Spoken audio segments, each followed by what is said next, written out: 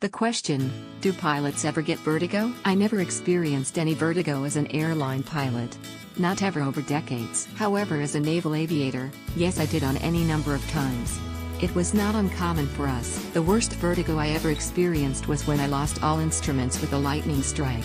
I had to find and join up on another F4 to lead me to recover aboard our ship, flying in the dark and in and out of clouds, and with my leads flashing anti-collision lights flashing, as we flew in and out of storm clouds and scud, without any reason I suddenly thought we were flying, upside down. That is panic-inducing.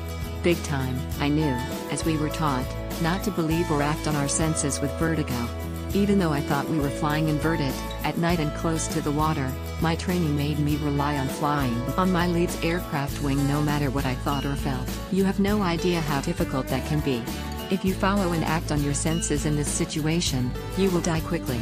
If you disregard what your normally good senses tell you, and ignore them, you will be fine to live another day. Once he, my lead F4 dropped me off behind the aircraft carrier and off his wing and in the clear, I was immediately okay. I finally felt right side up.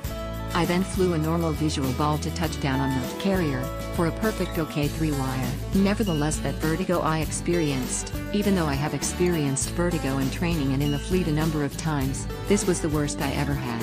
I can still feel it, and it haunts me to this day. Edit, I see the Navy does not call it vertigo anymore. It is now called, spatial for spatial disorientation. Nevertheless, it is the same thing. Here is a contemporary article on getting the leans and spatial D slash vertigo. Aviator's Dilemma. Pilots encounter illusions everywhere.